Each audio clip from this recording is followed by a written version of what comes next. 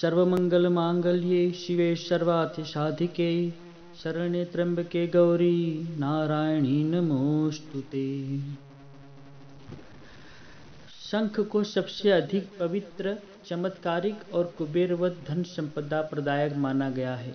समुद्र मंथन के समय समुद्र से निकलने वाले चौदह रत्नों में से शंख को भी एक रत्न बताया गया है। पुराण कथा के अनुसार भगवान विष्णु इसे धारण करते हैं। हिंदू संस्कृति का यह श्रेष्ठ चिन्ह माना गया है। शंख तो चंद्रमा और सूर्य के समान देव स्वरूप है। इसके मध्य में वरुण, पृष्ठ भाग में ब्रह्मा और अग्र भाग में गंगा का निवास है। शंख में विष्णु की आज्ञा से सारे तीर्थ निवास करते हैं। यह कुबेर स्वरूप है। अंत एवं इसकी पूजा अवश्य करनी चाहिए। इसके, क्योंकि इसके दर्शन मात्र से सभी दोष ऐसे नष्ट हो जाते हैं जैसे सूर्य देह होने पर बर्फ़ पिघल जाती है। तो इसके स्पर्श का तो महात्मा ही कुछ और है। ये शास्त्रोक्त सत्य है कि शंख के पूजन, धारण और दर्शन से दरिद्रता, अभाव, परेशानी और रोगों का समूल नष्ट होता है। रामायण, महाभारत, विष्णु पुराण वरा पुराण तथा अन्य अनेक पौराणिक प्रसंग में भी इसका वर्णन मिलता है। आज भी हमारे समाज में पूजा पाठ हवन यज्ञ आरती जैसे अवसरों पर शंखनाद की एक प्रथा प्रचलित है। मान्यता है कि शंख ध्वनि जहाँ शंखनाद होता है, सुनाई देता है, वहाँ का वातावरण भौतिक वायव्य और दैविक प्रकोपों से मुक्त हो जाता है।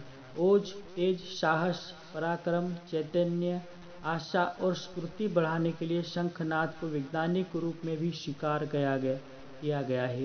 देवी स्वरूपों को भी शंखयुक्त बताया गया है।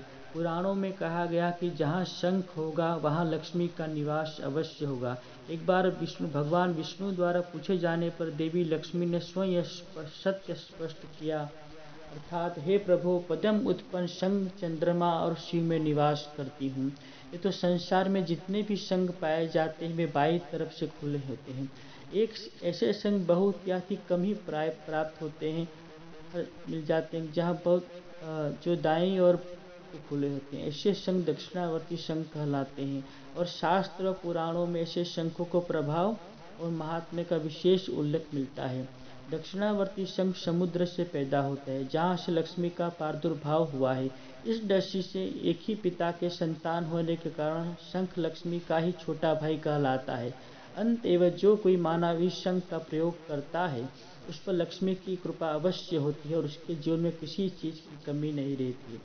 दक्षिणावर्ती संघ जिस घर में विराजमान होता है वहाँ शुभ ही शुभ होता है। वहाँ लक्ष्मी स्थायी रूप से वास करती है। इसके अतिरिक्त जिसके घर में चंदन कपूर से इस संघ की पूजा होती है, वह व्यक्ति कृष्ण की तरह परम भाग्यशाली और धनवान बन जाता है। अन्न भंडार में अन्न, धन भंडार में धन, वस्त्र भंडार में वस्त्र और व्यापारिक स्थानों पर रखने से व्यापार में अद्भुत वृद्धि होती है। इस संघ में शुद्ध जल भरकर व्यक्ति वस्तु अथवा स्थान पर चढ़ने से दुर्भाग्य, अभिशाप और दुर्गहों का प्रभाव नष्ट हो इसमें जल भरकर व्यक्ति पर छिड़कने से व्यक्ति के समस्त पापों से दोष मुक्त हो जाता है। दक्षिणावर्ती संघ के बारे में अनेक ग्रंथ लिए गए हैं।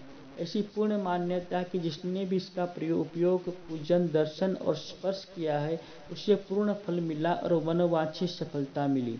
पुराणों में भी ऐसा वर्णित है कि चंद्रमा के अमृत मंडल से सिंचित समुद्र के गर्भ से उत्पन्न अंतरिक्ष वायु तथा ज्योतिष स्वरूप को अपने अंदर समाहृत करने वाला यह विशेष उत्तम संग शत्रुओं को बलहीन करने वाला, व्याधि, अज्ञानता और निधनता को दूर भगाने वाला है। कल्प रुष्ट के समान फल देने वाला यह दक्षिणावर्ती संघ श्वेत कपोत के समान ध्वल होता है, जिस पर तीन सुंदर धारियाँ बनी होती है। ये धारियाँ स्पष्ट अथवा छुपी हुई भी होती है। वज़न में भी अपेक्षाकृत भारी होते हैं।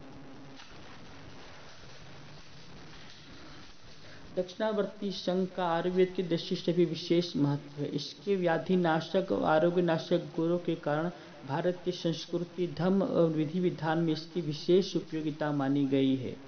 शंख को धारण करने से, फूंक कर ध्वनि उत्पन्न करने से और इसके भस्म द्रव्य को घिसकर प्रयोग करने से कठिन और असाध्य रोगों में भी निवारण संभव है।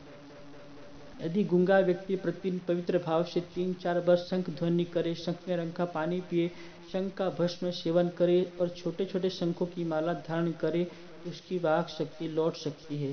निश्चय ही शंख का गुण असीमित और अद्भुत है। यदि दक्षिणावर्ती शंख मिल जाए और फिर भी व्यक्ति इसका उपयोग न करे तो वास्तव में वो अभागा ही कहलाया जाएगा। ओम जय गुरुदेव।